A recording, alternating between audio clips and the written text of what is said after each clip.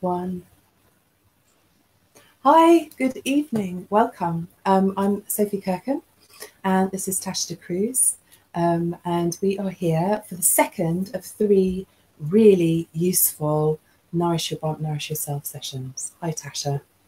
Hi, Sophie. Thanks Tell for having us, me um, again. yeah, um, well, it's a pleasure. Um, we've just been um, catching up in the few seconds that we've had before we went live. Um, I am um, Sophie. I'm a hypnobirthing teacher. I'm a doula. Um, I, I'm fascinated by birth and pregnancy. Um, I want women to have an easier time of birthing and an easier start to parenthood. That's what I'm all about. Um, and as parenthood goes, I've had a pretty tough day. My daughter has um, nappy rash. Maybe that will happen one day when your baby's here and it's tough, really tough. So we've been following her around hey, nothing on bottom half this evening, just a little bit of air get to it, and uh, I'm a bit pooped. However, um, it's really important that we get this work done because um, the first session that we did last week was about what to eat when you're pregnant, how to nourish yourself when you're pregnant. And this one tonight, really important because uh, all too often women are told not to eat and drink in their labour. oh dear, that's terrible. Okay, so Tasha, would you like to begin? Would you like to start? Um, got a few things to cover. What What are the main things that you're going to cover?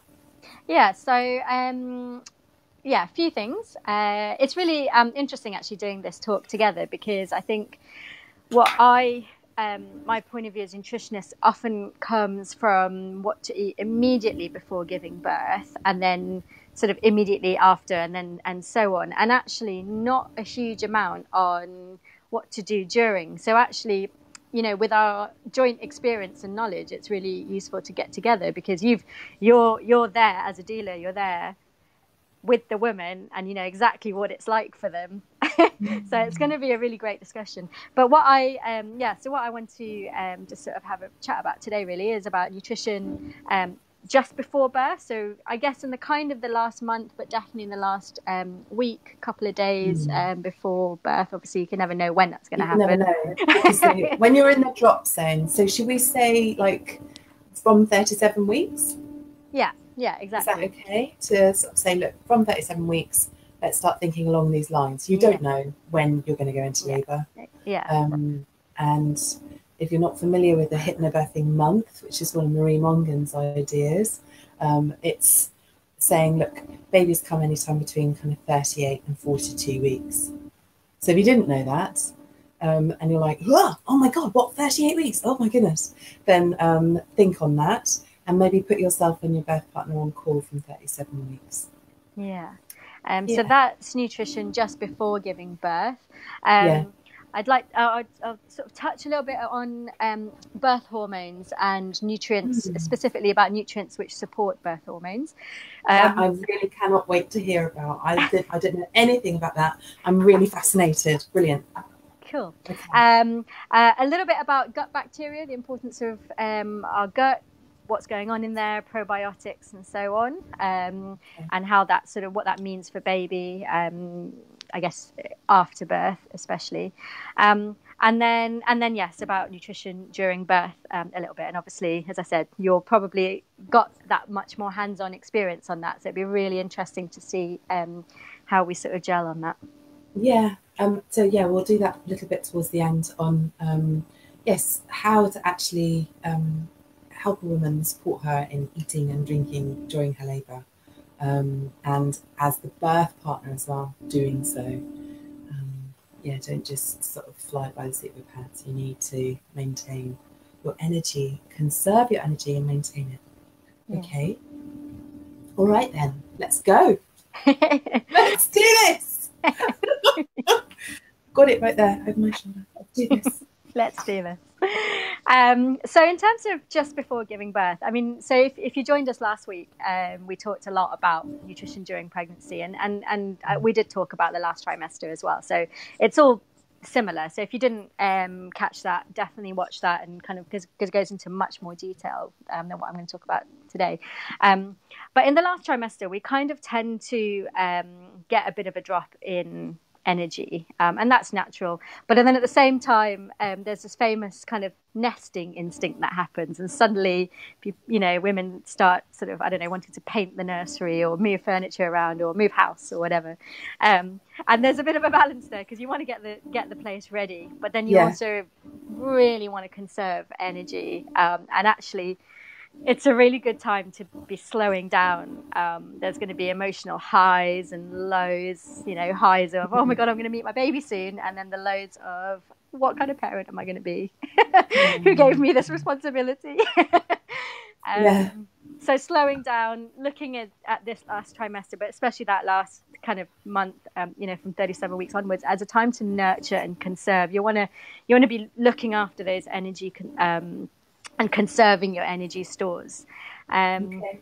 Labor, healing, breast milk. These are the three factors that you're you're really building your nutrient stores, especially your energy stores.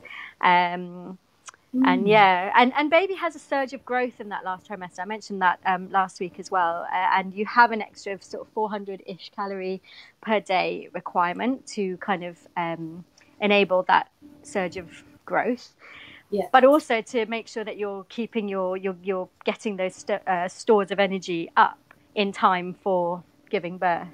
Um, I keep reading about labour being um, a feat of endurance, like it's like an endurance um, activity. Yeah. It um, can be. It can be sometimes. You know, like so. I was um, fortunate enough to be at, at the birth of a little girl this week. Um, so you know, welcome Earthside little girl and um, her mum had quite an epic labour. It went on for a long time, wow. and um, yeah, it's it's incredible how strong we are, and we're just not educated and trained to know that. That's part of what my work is. It's making sure that women know how strong they are. And yes, I often talk about having a tank of energy, keeping it full. So hearing you talk about um, conserving your energy stores um, yeah. and your reserves. I just see that as really, really, really useful information. So yeah. you, you know, you've got your visualizations for your surges, but maybe we need another one. And it's like, how full is my tank? Yeah. You know, because yeah. I don't want to run out of energy. Yeah, exactly. And I mean, the, the, the, hip, the hypnobirthing thing is all about training and preparing the mind and the body for this um, physical uh, activity that you're going to be doing potentially for a long time, um, hours, yeah. days. Um, don't know. And, yeah, and it's the same thing with um, with food. You you want to get almost into training. You want to prepare your body for okay. that you know that endurance you know you wouldn't go and run a marathon without kind of training for for a year maybe. I don't know if i've done a marathon and i I've never will. yet but, beforehand you know don't you? You know that you've got to um, you've got to eat. Um, and well okay tell us a little bit about the why. Why? You know why not just trust on the reserves that you've got? Why why do we need to actually eat yeah, because I think um, I think it takes a lot more than than we realize. I think it, for first time mums, um, you just think it's a natural process. I'm, you know, it, it's just it's just going to happen, and and I'll be fine. But actually, um, it it does it takes up a lot of energy. I mean, it's, it's a bit. I, there's a lot of I was doing a bit of research actually before this and trying to work out whether you can put a finger on how many calories you burn in, in labour. And I actually think it's a bit contentious. I, have seen something like 50,000 calories. No, I think that's clearly that not, sounds, not that, no, okay. That's ridiculous. No, no. but, We're not trekking across Antarctica, yeah, do you know what I mean? But, yeah. but it is thousands. But it's, it's a lot of calories. Yeah. yeah. it's a lot more than your your sort of recommended 2,000 calories per day intake that is supposed to balance out your um, you know, it's a lot more than that. It is obviously going to be a lot more like that. Just like running a marathon is a lot more than just having running your day to day life. Um, so yeah, so energy is definitely important, um, but also things like protein and um, your omega three stores are really important, especially in that last uh, month or so, because that's your, your baby, as I said, is growing. Um, yeah. The brain is growing as well, and yeah. these are two two um, uh, nutrients that are really, really important for the brain. Um, but protein also helps with that kind of that endurance of of labor um, mm. and also two really important um, nutrients are zinc and iron and zinc because it's really really important in your for your immune system um, yeah. and also for the healing process so again um, when you're going through labor your body is uh, experiencing an assault on its immune system. Um, oh can we reframe the word assault please? Yes of course. it's going through um, a there's a high demand. Yeah yeah and and and that's just want to soften that word. Yeah yeah absolutely. And um and and that's normal. I mean your immune system is often um dealing with this. It's it's primed to deal with this. But just yeah. making sure your stores of zinc are optimum um, are really important. And you get zinc in, in foods like um, pumpkin mm. seeds. Um i mean it's quite it's it's not it's um it's something that you can get relative, like you know, from food, seafood. Um, oysters is a good source, but obviously we're not supposed to eat raw, raw oysters. I, I probably shouldn't have, but I, have told you this already. When I was pregnant with my daughter last year, I craved mussels. Like I would yeah. have them for breakfast, yeah. and I was having a very sort of paleo diet, which is kind of cave woman diet of meat, fish, vegetables, and a little bit of fruit. And um, yeah, and I asked you, I said, "What's this thing? Why do I crave mussels?" And you said, "Well, that'll be the zinc and zinc, and possibly and and iodine as well. Actually, is another one. Oh, iodine, yeah. yeah. So okay, um, but yeah, so that's the healing, and then and iron is really um, necessary for the for the blood loss that you might um, that you, you will experience during um, yeah. during birth as well. Um, so you you need to make sure that if you because again, baby's been taking your iron from you for the last well nine months, but especially in that last trimester. Um, mm. So making sure that your iron stores are, on, are kind of uh, in good reserve. So what that, your advice then? What could we do? So some women will get given iron tablets, and then yeah. that might make them constipated, and that's not fun. Yeah. Um, and what what could they do on a mm. daily basis? Yeah. So if, they, you, if you've been given iron tablets, that, that will be likely because when you were tested in your um, last trimester, you will have come back with low iron. Um, so your uh, midwife or whoever would have suggested um, iron. Um, yeah. On a day-to-day basis, what you can eat. So red meat is the um, is the one that everyone knows about. Yeah. Um, is it is a really really good source of iron, uh, and it's a very usable source of iron. So it's one that our body just knows how to absorb how to how it's it's there's sort of two forms of iron um, essentially. One is uh, kind of animal based and one is plant based, and the animal right. one is just much better. It's much easier for our body to use. Um, okay. Plant sources of iron. I mean, green leafy vegetables. The darker, mm. the better. The darker, the the more iron. Um, mm-hmm. But uh, vitamin C helps um, iron to be absorbed. So mm. if you're uh, in in the kind of um, plant based form, so if you've got, for example, if you're if you're having a, uh, some kale with your dinner, a squeeze of lemon juice, it's really simple. It doesn't have to be like a, you know I've got to take right, a vitamin yeah, C tablet delicious. as well. You know exactly. Yeah. And and actually that's what I love so much about cooking is that quite often we do these things without realizing mm. that it's really important to put these two nutrients together. We don't know that when we're doing this. They just happen to also be delicious. because the acid makes it more e- easier for the iron to be absorbed by the. It's it's the it's the vitamin C actually. It's not the acid. It's the okay. vitamin C in citrus fruit. Yeah. Uh-huh. Um. So yeah. So those okay. are those are those are that's just some really simple just food to eat to make Meat sure that you've got green, your iron. dark green leafy vegetables yeah. and anything else. Anything else. So vegans and veggies. What could they do? Yeah, well, just the, those kind of dark green leafy veggies, um, nuts and seeds and grains. I mean, they all, they, you know, most foods do have a small amount of iron in. You just, um, if you're vegan, especially, you're going to want to just make sure that you're eating quite a lot of, the, yeah. of quantity for this. And you're probably, I would say, if you're vegan, especially, um, you might be uh, low on iron, and you, you might be suggested to, to take a, a supplement. Um, it's it's it's it's a relatively common uh, deficiency in, in vegans because yeah. um, because it's just because it's just that much harder for our body to absorb it um, compared to meat. So it's just it's just a little bit harder. Okay. Um, yeah. Um, just noticing there's a comment on Facebook. However, new to BeLive as we are, I can't see her name. That's a bit rubbish, isn't it? It says comment from Facebook. Sil- um, so Sil- Sylvia, I can see. Sylvia. Oh, you can see. So yeah. she's actually saying her ferritin levels were worryingly low. I don't actually, I'm not a midwife, so I don't know what the, the guideline would be for like a good amount. Um, so she says, um, yeah, maybe you can help me out. Now, ferritin and iron, is that yeah, so ferritin is the protein. Yeah, ferritin is the protein that carries your iron. Um, so if you have low ferritin, then your body is just not able to um, carry the iron around um, as well. Um, I, I, I wonder whether you've been given a supplement as well, because again, um, having low ferritin, it's one of those things that people, you know, you might you might be prescribed um, a supplement because again, the more iron you have in the body, the more potentially ferritin um, that is available can carry it around. Okay, all right. So um, yeah, if she ups her red meat and her dark green leafy veg, then it's going to make a difference. Yeah.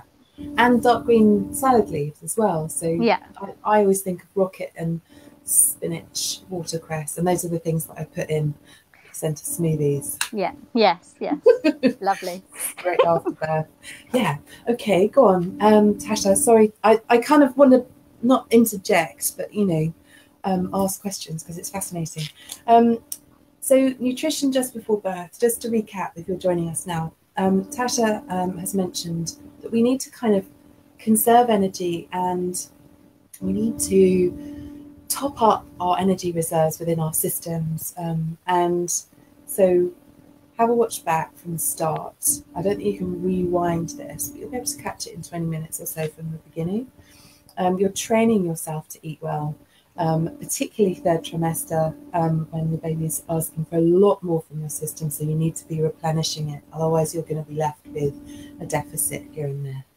Um, so Tasha, you wanted to talk also about gut health and probiotics. And can yeah. I just say that a lot of women um, who've had um, a birth where there have been special circumstances or you know extra kind of help, sometimes they might pick up an infection and be given antibiotics. So this is kind of really useful information. So gut health and probiotic um, yeah. use. And maybe you could just say a little bit as well about women who've been given probiotics um, after birthing. Yeah. Um, as well. Yeah, sure.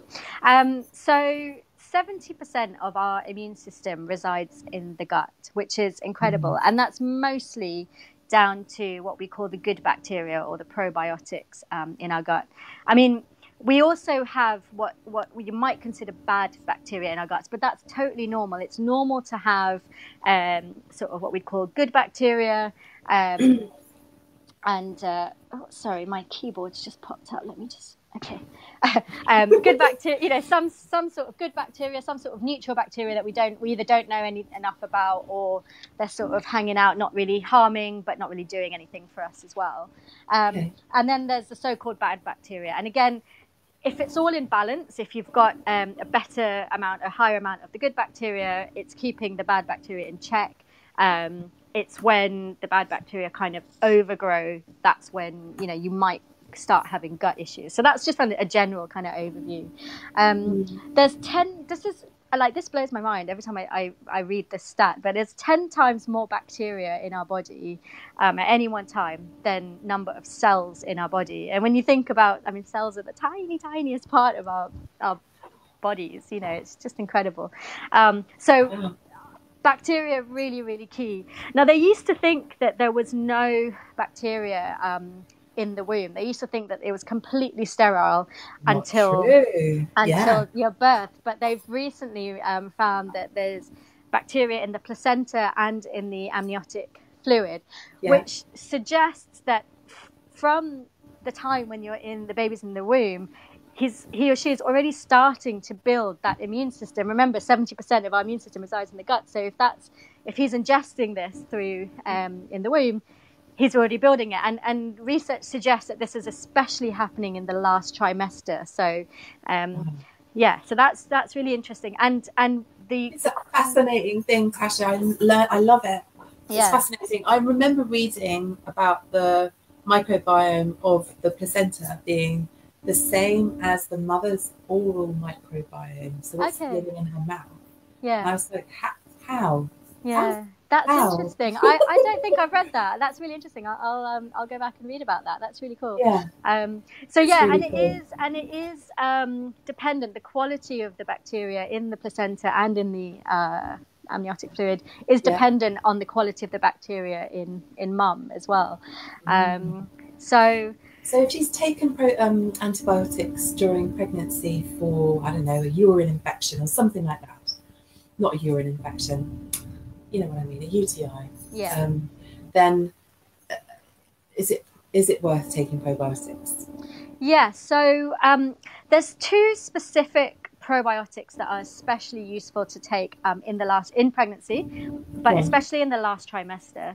Um, there's one um, that uh, you know, and and and what what I mean by that is these these might be probiotics that are specially formulated with specific um, bacterial strains that are shown to be useful for different things. Um, Right. So one would be a probiotic that is um, uh, or, or that contains bacteria that is known to reach the vaginal um, tract. So that Oh. is. Um, uh, yeah, so essentially a, a probiotic um, that is that that is good for that, and the reason for that is so that when you're birthing, if you're birthing naturally, um, the bacteria in your vaginal uh, tract is of really good quality because that is when your bo- your baby is going to be ingesting um, the largest proportion of his um, of, of bacteria and being introduced into the wider world, and that's his first kind of introduction to the, the big world out there. The big world Um, out there. So it's it's as the baby's head, um, if the water's released. If they haven't, I'm not sure what happens. So it just be the bacteria that's in the placenta and the amniotic fluid. That they pass down as they move down towards, you know, birthing, they would get those bacteria from your vagina in mum's vagina into their nose, into their mouth, their eyes, their ears, all around on their skin. And that helps to form, like you say, this this immune system. Um, and I know that there is more and more research going into um, what's it called now? Help me out. Some kind of vaginal or vulval swabbing yeah, for babies who are born by cesarean yeah, because they won't have had that opportunity Yeah. to pass through, pass through the birth path. And a lot of um, babies born by cesarean tend to get asthma and eczema, and, and the evidence suggests that that's because their microbiome was seeded a Mm. different way mhm, um, with bacteria in the operating theatre. yeah, and it's and it's you know, known. I wonder about that, Tash. You know, can't we just remedy that over time? Yeah. Well, so I mean, it's known that babies born through C-section do have different gut bacteria composition than babies born naturally. It, it is known. Um, breastfeeding, um, lots of skin-to-skin contact with mum. Mhm. Um, you know, lots of kissing. All of these Mm. kind of things do help with the microbiome. Um, but I think uh, that that that very first introduction is very important um, through the through the vagina. So, but you can remedy that with um, probiotics. So for newborns, you can get um, a probiotic that is um, specifically for newborns. Well, it's, it's actually good for infants, uh, sorry, newborns and babies up through childhood, really. Um, and you can just kind of take a little dab on your finger and kind of put it in in the baby's mouth to suck on, or you can put a little bit on your nipple if you're breastfeeding. Yeah. Um, so That's it's, a really good idea. it's quite an easy way to, to, to get some probiotics in there. And it is important um, if, if even if um, you are um, born by naturally, if you've had any antibiotics during pregnancy, if you've had any medication um, Yeah. during pregnancy, um, it, that can and your diet as well. That can all affect your um, bacteria in your gut and in your um, vagina too. So, you know, Yeah. even even so, it, it could be a good idea to have um, a little probiotic top up. Um, Yeah. Through it's it's actually not known. So so, so breastfeeding will give a lot of um, probiotics. Um, it's not really known actually the effect of the probiotics that mum ingests, the effect on her actual breast milk, which Yeah. is really interesting. They're sort of researching that. Um, Yeah. So, but baby being able to take it directly um, is is is helpful. It's helpful, especially as well if, if a baby's been given antibiotics when they were born, if they picked up Yeah. an infection or something like that. Yeah, for sure. Um, it's really good to know. Um, can you give us a recommendation? Do you know Yeah, particular- the brand that I like the best is one called OptiBac, and the reason I like them Heard is them? because they have an awful lot of research on their website. Um, so you can, uh, just as a layperson, you can. So they have lots of blogs and articles, you know, aimed at the layperson, but also health professionals. So if you if you actually want to kind of get a bit deeper into the science of it, or re, you know, see what their research is. Um, you know, because so they base their formulas on really robust research, um, and it's just they've just made it so easy for you to find their research and understand why they've recommended specific things. So um, that's why I like them. It's also a really good formula. It's a really nice. Um, the supplements are just really good quality. Um, They always contain strains that are very specific to whatever it is that you're looking for um, support in. And they do a specific infants and um, children formula, and it's in a sachet, so you can mix it for children. You Oh, can is mix it in like teething granules and teething powders? something like that, I think. Yeah. tip it in Yeah. to their mouth. Um, and then the Uh-huh. other one, um, they do have a. Um, so, so if you're pregnant or if you're breastfeeding, you can take that as well. You can take that probiotic too. That's um, perfectly safe and good. You know, a good idea. Um, and they also do a one specifically for women. It's called For Women, and that Okay. is that's the one that contains the two strains that are just known to um, be able to reach the um, vagina without kind of getting destroyed by the Ah. digestive tract. Okay. So again, that so those two um, would be a good thing to take in that last trimester um, and in that last for- month, ready for birthing. Yeah. Um, yeah. Okay. Um, so, um, birth hormones and nutrition. Yeah. So this is amazing. Um, so the so the the, the, the, the hormones that are important uh, during during birth are um, uh, oxytocin, prolactin, um, and endorphins, and the three of them um, help with um, uh, contractions. They help with uh, producing breast milk, bonding, um, and endorphins, especially for pain relief um, during birth. Yeah. Um, so the nutrients, I've actually noted this down because I wanted to make sure I didn't miss any out. So the nutrients that are really important um, for Get these hormones ready, folks. are um, vitamin C. So that's obviously that's easy. Most people know vitamin C, citrus fruits, kiwi. You know, most fruits, most vegetables have some sort of um, vitamin C in as well, um, but especially the citrusy ones. Um, uh, and yeah, um, copper, zinc, and calcium are three really important minerals. Um, and these you can get in things like green leafy vegetables. Um, uh, copper and zinc from red meats, uh, or any meat actually. Uh, obviously, calcium from dairy and also from green leafy vegetables. Sesame seeds, all seeds are good source, but sesame seeds are particularly good. So things like tahini, hummus, good for calcium.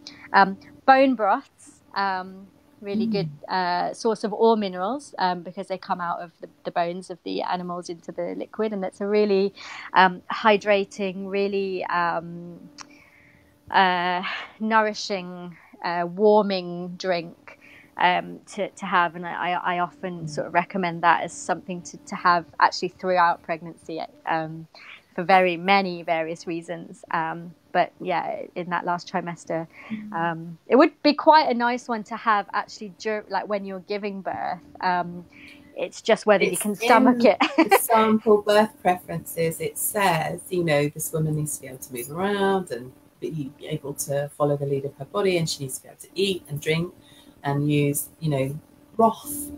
And um, and yeah, funnily enough, when I had my first baby, Fred, um, I wanted soup in my labour. yeah, yeah. It was pea and ham soup, it wasn't broth. Oh, interesting. Um, Why, why yeah. would be made from a good ham stock though? yeah, yeah, yeah. yeah. Um, yeah. Okay, so So- calcium and zinc and And copper. copper. Uh, all the all the B vitamins. So that's um, Oh. B3, folate, B6, um, and B12. And again, um, uh, folate and B12 are best sourced from red meat. Uh, well, all meats will have a source, uh, will have some, uh, uh, all animal products are eggs as well, um, but red meat is particularly good for B12. Um, and then the other Bs good uh, are high in grains and, and green leafy vegetables again. Uh, Okay. so uh, yeah, these are the B, B vitamins. And then the last two uh, are iron and magnesium. Mm. And these are particularly, uh, or magnesium is particularly important for the endorphins. So that's the pain management, the natural pain management hormones It's that you supposed to want be ten times stronger than opiate. Opium. Oh, I'm Is- making it up. I, do you know what? I've said this like a thousand times in class, and now I'm having a brain block. They're ten times stronger than morphine. Thank you. Morphine. We. Really? Oh my gosh, Yeah. that's amazing. Um, and we do like in labour. So, in my humble experience of two births, I've found that yeah, you get really heady um, on the literally shed loads of hormones that are flooding your system, and the endorphins are definitely there. And I think they also help to create a very amnesiac state for the. Which will Yeah. lead us on to our next bit of hang on a minute, you've not eaten anything for several hours. Oh, has it been several hours? Blimey, you know, I've been like I'm busy. so yeah. Um, iron and magnesium. So we talked about iron before. Mhm. Um, magnesium. There's a wonderful skin salt spray that you can buy, um, and I really like using that. Um, and uh, would put it in my say birth bag, um, and use salt baths, Epsom Yeah, salt baths. yeah. Some women are afraid of bathing in labour. It's okay. You can. Uh, sorry, bathing during pregnancy. Um, it's okay if you're worried about the temperature. It, should only be 38 degrees.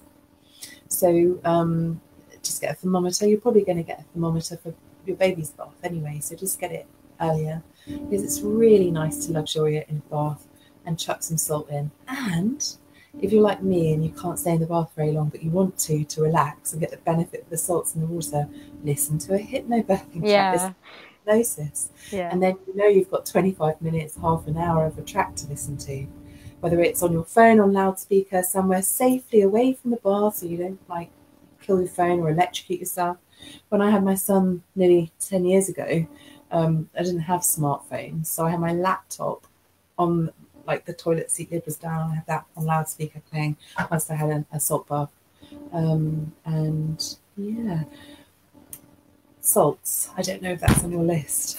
Salt on your list Um, because of sodium. I was just thinking. Yeah, um, I mean it's it's it's uh, it is in the sense of um, under nutrition just before uh, sorry nutrition during um, during birth, um, not specifically on on hormones, but yeah, um, obviously that that that is going to be really super important. So yeah, so that's pretty much it on the on the um, on the nutri- nutrients uh, on birth in birth and birth hormones. I mean, again, if you've been eating relatively well throughout your pregnancy, and especially in that last trimester, getting getting your vegetables, um, your meat, your your your protein, um, your good fats in, um, if you're you know you're going to have good stores of, of these things anyway. Um, so it's just about just being really aware that these things, it's not Yeah. you're not you know we we we know we we often eat because we're hungry because we just want to you know because we know that's what we do. But I, I I mean this is why I studied nutrition. I just think there's so much power in knowing what those little things that you're eating all the little micronutrients and, and so on what they're doing to you and, and how they directly affect everything in that that we do on a In day-to-day basis in our system and and even more so in pregnancy because we just go through so much change and then it changes again during labor then it changes again when we've given birth and it's just incredible It keeps Um, on evolving and it's very fluid. And yeah, we haven't mentioned Tasha's um, pregnant. yes i a baby am next I am. year, 2019 baby. Um, if you're watching right live now, tell us um, when's your baby due? When's your baby due? Are you in the third trimester? Are you in the second trimester and suddenly changing your shopping list? yes. Um, okay. Um, All right. So, what's our next topic on the list? Well, I think we can um, definitely move on to talking about uh, food during labour, um, yeah. and then we can sort of bring in your um, your expertise here as well. Oh God, I don't like calling myself an expert. The more I know, the less I know. Do you yeah, know what I mean? The yeah. more I understand, the less I'm like, oh, just meeting the midwives, you know, at birth and things. I just want to be a sponge and just absorb all this amazing info and sort of. Oh, I just find it fascinating, and um, we spend quite a lot of time on a hypnobirthing program. So. Um, teaching and sharing about nutrition one of the things we recommend is that you use a um, like a nutrition tracker for a week. So you can get any number of apps. Um, I recommend the um, MyFitnessPal because you're not calorie counting, but you enter in what you're eating and then you can hit a total button and it shows you the nutrition. So everything Tash has just been discussing, you can make sure you're hitting those targets. Um, and then actually, in terms of protein, it's recommended 70 to 90 grams per day. So I just wanted to put that little fact in. Now, in labour, um, I did do a sketch earlier and I wanted to do a video um, to, but I'll have to do it later, about something that I'm, an idea, a concept called the chewing timeline. I love this. I, I think this is a really clever idea. Um, she says, um, I think it's a clever idea because if you imagine, okay, and I've got an asterisk on my diagram, it says every woman is different, every birth is different. A lot of births start off with surges that are spaced further apart, and as labour progresses, thinning and opening, surges get longer, stronger, closer together. As labour progresses and the surges get longer, more powerful, stronger, there's less space in between, there's less rest space in between. So at the beginning of your labour, you may have um, surges with a decent chunk of time in between. And in terms of chewing food, okay, so it's a chewing timeline, you can actually chew stuff. So, you know, you could have um, a bowl of stuff um, when you think that labour is about to begin. Um, and you can chew that and you can swallow it because you have time for your next surge comes. And again, back to conserving energy and keeping your energy tank full, that's really important. Occasionally, women um, suffer from vomiting in their labours, um, and that's horrible. Um, I think it's really, really, really important to get the midwives to give you some anti sickness um, medication. I think it's normally an injection. I don't know. I'm not a midwife, but I think it's normally an injection in your bottom or your leg. Anyway, don't want to be vomiting during your labour because that's not nice anyway, and you're going to be losing literally your energy because of it.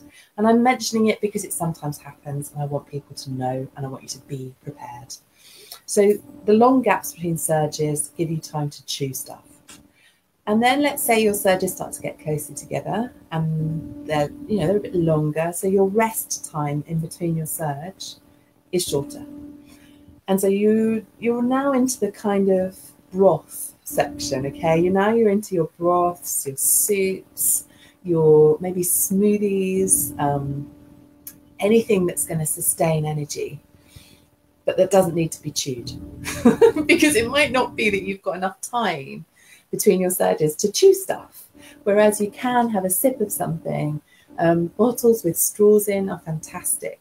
It's very difficult to drink like this up a glass when you're, you know, on all fours or in a birthing pool. It's much easier if someone passes you a straw and you can just have um, a, a, suck on that straw and it could be warm broth or it could be a cool smoothie, whatever takes your fancy.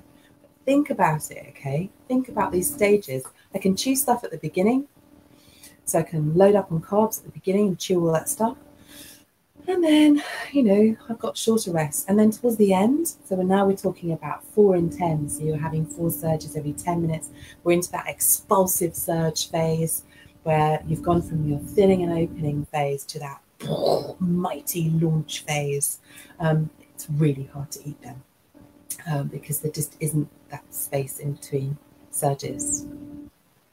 There may be, I just want to remind everybody, a little phase between the kind of shorter rests and launch mode where things slow down a little bit. And it might not be that you, so if you cover your bases and go, why, why is this slowed down? It's not that you're dehydrated. It isn't that you haven't peed. It isn't that you haven't eaten. It isn't that your birthing space is being disturbed all the time. It isn't the people that are with you. Actually, they're all wonderful. You feel safe. They're all cervix opening personalities. It could just be what they call um, a rest and be thankful. So rest and be thankful. Oh, lovely. There's a phase where your body might go, Oh my goodness gracious me, I have worked really hard. Let's have something to eat and just rest. And then, boom. And that's what happened when I had my little girl last year. Um, I had a rest and be thankful. so much so that the midwives tucked me into bed. I was still surging. They tucked me into bed, stroked me, give me a kiss.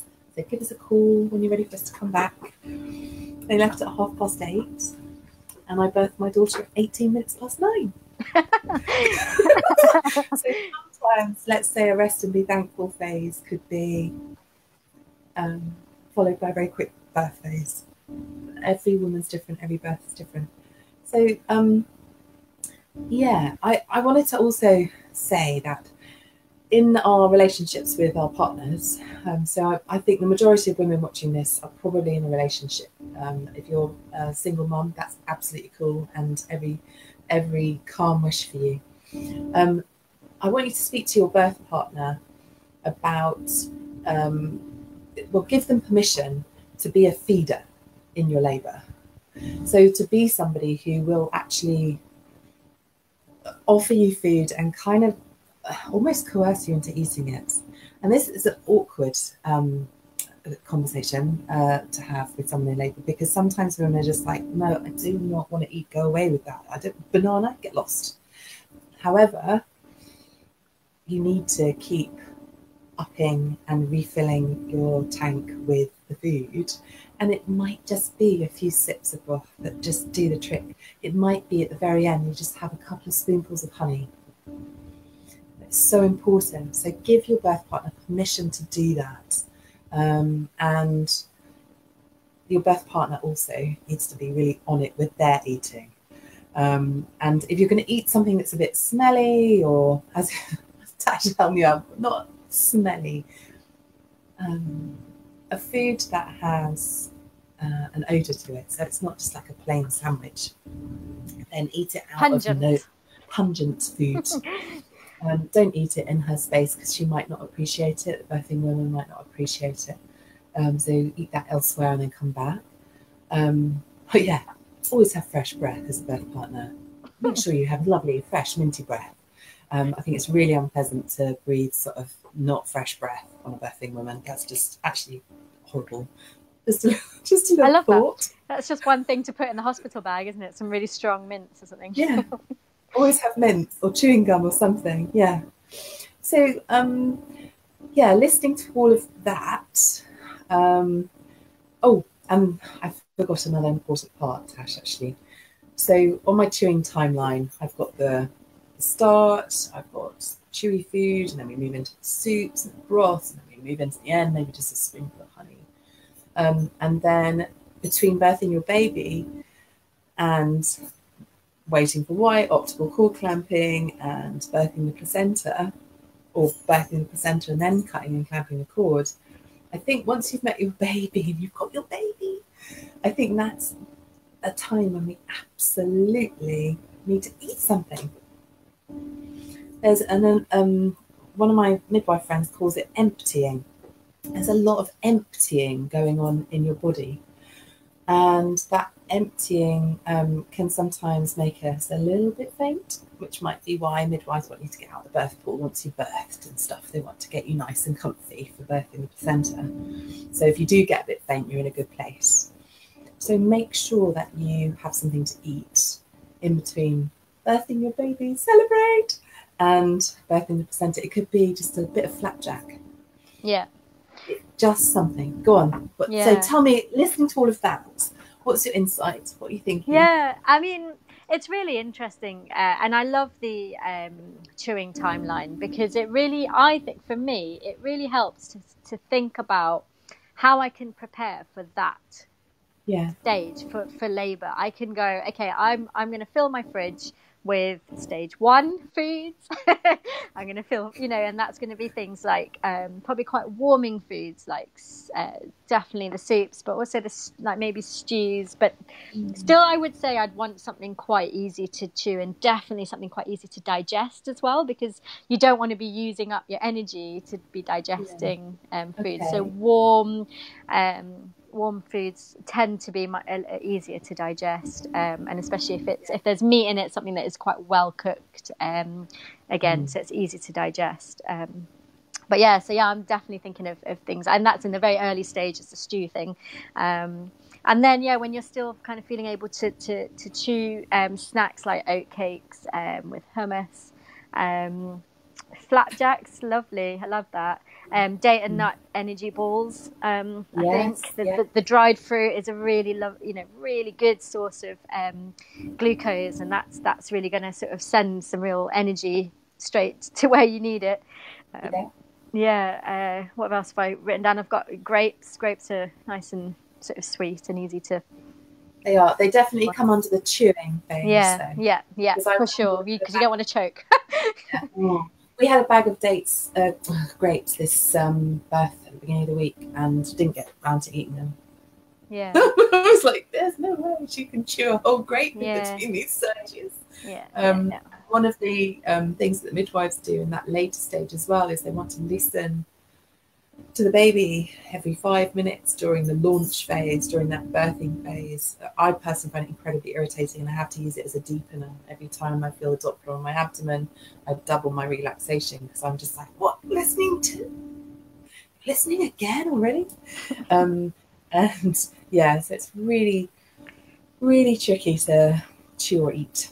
Okay. Um, yeah, sorry, please go on. Uh, and then moving on to the sort of um, can't chew anymore stage. Things like yogurt um, would be would be quite a nice thing. And again, you could you could uh, make a, a, compote or you know like a like a pureed apple or something if you wanted to have a flavour to it. Um, obviously, some honey through there, some cinnamon. Um, nice. Uh, yeah, I love as yeah. well that kind of very final phase or uh, stage where you're just like I can't do anything, can't swallow, and a spoonful of honey is just to me it just sounds like a really nice um it's a nice really nice thing to do isn't it? Yeah. it's just a simple thing. So yeah. So when you're um when you're birthing your baby next year when you're in labor next year you can have little labels on stuff yeah exactly. menu. Yeah a menu and, and i've got um, yeah we've got a we've got a smaller fridge as well and i just feel like i'm going to fill like one shelf with the chewing phase one shelf and and again and you can and make smoothies in advance you know i wouldn't kind of you know i, I would definitely go about this by preparing everything in advance so make your smoothie um, put it in a little bottle um, yeah get some good straws. Um, straws. Yeah, I have. I meant to get it ready, but like I explained at the beginning, my daughter has um, nappy rash and a cold, and um, so she's only a baby. So I was looking after her. So just about managed to slap on a bit of lipstick and get here on time. I in my doula bag, I've got um, one of the straws that you get inside um, a, a sports bottle. It's a very thick one. Yeah. It's really excellent because what I could do is I can take a drink. It could be a smoothie I can put the straw into it and I can hold the top and almost pet it, in, into yeah. her mouth by just lifting my finger off. Um, so she doesn't have to do anything. That was just an invention yeah. the other day, but it came in really handy. Um, so having straws and a, and a sports bottle, something you know that you, they can suck on. Yeah. Um, if you want to get really into it, you can have a little CamelBak what they're called. You oh yeah, yeah, yeah, yeah, I know, lovely. and and actually, hydration was going to be something that I was really going to talk about. Um, yes, so we must talk about that. Yeah. So obviously, as um, as you mentioned, so stay with us. I know we've been going for nearly oh, fifty minutes, yeah. but this is really key right now. So there's the eating part, and then how much of our body is made up of water? Oh, 60, 60 plus percent most of it most of it and as you said like you know a, a, lot of women kind of have a sort of almost purging whether it's vomiting or or maybe a little bit of diarrhea as well so sometimes yeah. it depends okay so uh, one of the hypnobirthing things is saying, look, that doesn't necessarily have to happen if the woman is free of fear. So she's in a confident, calm state. She's well supported. She's feeling safe. She's much less likely to be Yeah. vomiting from fear. But it can happen. Or you might find that you have a massive kind of download, as we call it in our yeah, house, yeah, yeah, um, pre labour. yeah. Yes. And and obviously that is going to be losing you um, water, but also nutrients. And as I kind of listed, all those nutrients that are really, really important for the hormones, and that's you want to be be able to producing those those hormones throughout. So you really don't want to lose them. Um, so obviously drinking water, but um, water with a little bit of orange juice or um, apple juice mixed in um, helps with just adding a little bit of sugar into it, a little bit of um, glucose, uh, and really nice. Um, I mean, coconut water is naturally hydrating. I mean, I, I think Lucozade is often um, recommended. I don't really. I think. I know there's a lot of rubbish in Lucozade. I don't like Lucozade, but a friend of ours gave us a leftover bottle from their birthing, which was Yeah. six days before Megan, my daughter, Yeah. I birthed. And when I birthed Megan, and it was all good, and then the midwife got here, and then it was just in the bathroom in that room there. Um, and I was sitting on the loo and I was holding Meg, and I was like, oh, here comes the placenta. And we put a towel in the toilet, put the seat down, and then put a bowl for the placenta to plop into because it kind of splodges out. Um, and then I went, and everything started to go dark. And Ah. apparently I went very pale. And this was this emptying thing. Um, and so I passed the baby over to Andy. And we just cut the cord a few minutes earlier um, while sitting on the loo, glamorous. And um, and then uh, so my midwife lay me on the floor, and Andy went and got this bottle of Lucozade. Yeah, What's in it is that's really important is the electrolytes yeah, and the sodium and the magnesium and the zinc and the can't remember potassium even. yeah, Um, and I'd got back from work on a Wednesday night. I went into labour on a Thursday night, and I'd started to make flapjack. You talked about nesting just before earlier, and I think that was me getting ready. I got home from work at half past ten at night or something ridiculous, and I was like, I must make flapjack. I never make flapjack, Tasha. But I was like, must make flapjack. So when I got faint and I was just sort of resting on the floor, Andy went down to the kitchen with Megan, got me a bit of flapjack and the Lucozade, and I had that, and that really helped. yeah, And then, yeah, yeah, a little while later, managed to get off to bed and into bed with my baby. yeah. Yeah. Uh, so yeah, and and and that's the thing, as you say, Lucozade does have the balance of electrolytes that that that are that that you need. Um, it's Lucozade Sport, not the not the fizzy bright orange one. Right. Um, just just that's is the one that's got the electrolyte electrolytes. Um, so I mean, it might not be, uh, you know, as I said, I don't like them, but I think it might not be a bad idea to have one or two bottles there, as Yeah. for those kind of situations when you're just like, I am so lightheaded and I and I need something because I've just I feel empty. Um, I, I, I I was going to say coconut water also has Mm. um, a good uh, it's it's it's good uh, source of potassium um, especially so it does have the Yeah. good uh, minerals in it um, I I also make uh, do a homemade uh, electrolyte do mi- tell. mix and that is coconut water Yeah. um, some orange juice uh, and Yes.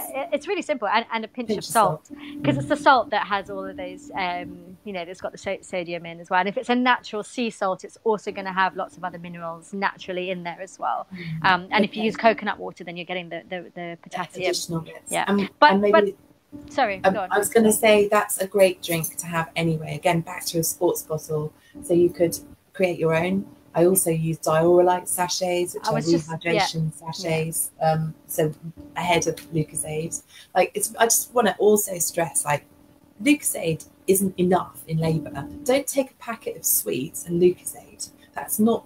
That's not what this is about. And if you've been watching, you'll have got that. You'll have realised, like, okay, actually, we need to think a little bit more in detail about this. How can we nourish ourselves? And for birth partners, just have what she's having. yeah It's not going to do you any harm.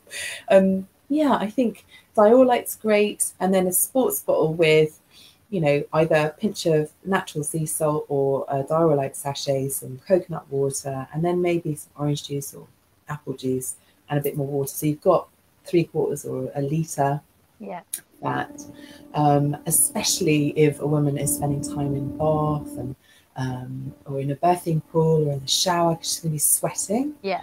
I think that's really, really, Yeah, really great. Really. And the magnesium skin spray stuff, the salt spray, is wonderful because it's slightly oily. yeah. So you can spray it onto her back, her back, her bum, her hips, her thighs, Yeah. and rub it in and massage it if she wants to be touched. Some women don't want to be touched in labour. The only Um, thing I would um, say about the magnesium spray is some Hmm. people find that it makes them a little bit itchy. um, There's a sensitive one now.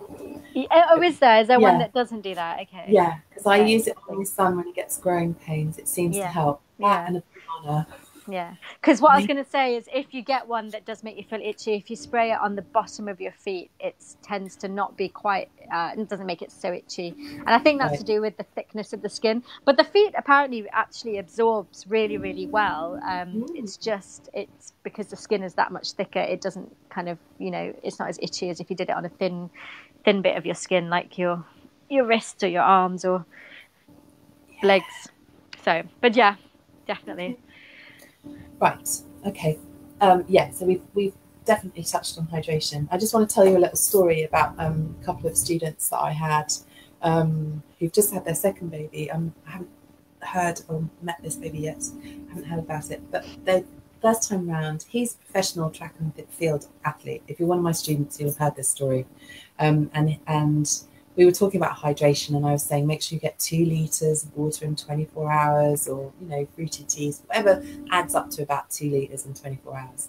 And he said, You can drink as much water as you like, but unless you're getting your electrolytes, you cannot be optimally hydrated. And he said, before any of his competitions that he competes in, for three days before, he would um, use a rehydration drink or solution or whatever. And I'm like, Well, we don't know when three days before our labours are going to be. So why don't we just say, all right, well, I'll have some coconut water and I'll have a little bit of salt with my food and I'll make sure I'm drinking plenty of water and know when you're hydrated. Look at the colour of your pee. If your lips are dry, your mouth's dry, get some water on you. Um, I've got alarms on my smartphone, on my iPhone that flash up 11 o'clock, 1 o'clock, 5 o'clock, drink water, just to remind me because I'm busy, I'm a mum, and sometimes I forget. So, yeah. Yeah. Anything else to add on um, on on this? Mean, we could talk all night. yeah we brilliant. really we really can um no i mean that really um has covered uh what i had wanted to um Yeah. kind of put put across and as i said i think your chewing timeline it's a really nice visual way of really thinking about it and and um and especially the bit about the birth partner and making sure that they're eating too and they're, eating too. I know. I will show you the drawing that I sketched, but I'll have to hold it uh, there. Oh, Yeah. golly. If I go like that for a moment, and I show you, can't get it level. anyway, go this way. Oh, is it the right way around? Yes. yes So you can see there are two smiley faces on one side, and there are two smiley faces and a little baby smiley face at the end, and then there's a bit of a centre. Um, and I just annotated it. Um, so yes, I'll develop that a bit more um, because it just makes sense. Yeah. Okie dokie, let's put Tash back on. Hello. Hello. Um, all right. So is that a good place to pause? yeah i think um, it is well we're almost at an hour We're almost at an hour. And um, yeah, having said we'd be half an hour, um, I don't think Megan's woken up either. So that's meant Good that I felt able to, yeah, she needs to sleep. yeah Um, I, I want to remind people about your program. yes Um, so I should have done that earlier. My apologies. So Tasha is running a postnatal group on nutrition. It's a closed group, and the offer. So so we'll put the details in the comments. Is available. There are restricted numbers because she. i've actually got one place left Oh, oh only the one. yeah. Okay. Well, what about the other group? You're going to have to run concurrently then. well i mean um, yeah, I mean, I have, uh, yeah, I've got one place left. Um, One yeah, place left. So, so, So, we'll- if anyone's interested, what would you like them to do? Yeah, so, um, so the, the, the program is all about preparing for um, nutrition or how to make sure that you're prepared for eating after you've given birth. Um, Yes. So it's kind of anything really from that first day all the way through the first kind of three months, even beyond really, because it's it's it's a good grounding in what what actually constitutes good food and good nutrition. Um, but as well, it covers things like uh, food for healing, repair, um, breastfeeding, uh, Yeah, and, and all of these all of these yeah really essential um, Mm. post pregnancy nutrition information. Um, it's uh, it's an eight week program, so it starts on Monday, um, this coming Monday, the twenty sixth. We're running. It's going to go for four weeks, and then we'll have a two week break over Christmas, and then start again in January, and it will um, run for another four weeks after that. Um, the format essentially is that we do a group call once a week, uh, where I do a half hour talk on whatever that topic is of the week, and then we do a Q and A. Um, every participant in the program gets a hot seat opportunity, so that's you know they can bring a question, a scenario, an issue, or just kind of you know a safe place to just vent if that's what they need. Uh, um, so that's the format, uh, and then you know there's there's handouts, worksheets. Um, some meal plans, some recipes, and so on. So Okay. that's the program essentially. Um, if you're interested, um, type, type- nourish in the comments, um, and I'll send you a message and get in touch, and we'll we'll get on the phone and have a chat about it. Um, so Yeah. type If you're nourish. watching this on Facebook Live, you can also go to Tasha De Cruz Nutrition and uh, like her page. Please do that. Give us lots of likes and love. I should have asked that earlier too. Um, and uh, if you're watching on YouTube, then yeah, you can go um, back to Facebook um, and find Tasha on there. Yeah. Okie dokie. All right. Um, so we're going to see you next Thursday, same time, 8 p.m. London time. Yeah. Um, and next week we are talking about the same subject. Yeah. Um, nourishing yourself once your baby's here, and please bring your birth partners along because it's so important. Or sorry, not necessarily just your birth partner. Whoever is going to be looking after you, the new mum, the people who are going to be doing the cooking. And if you have somebody who can do that and is a really supportive partner, get them in to watch this with you. All right, that's the same time next week, and we'll create the event and be able to um, show your interest so you'll get a reminder when it's due on. Okay. All right, Tasha, thank you very, very much um, for yet another really seriously fascinating. Um, I've learned loads, fascinating session, um, and we look forward to next week. Yeah. Um, yeah. Yeah, thank you so much for having me. I, I love this. I loved it last week, and I've loved this week. So, so Yeah, it's been great. I'm glad we made it happen. Um, so yeah, see you in a week or so. Yeah. Cheers, folks. take Bye. care. Bye. Bye.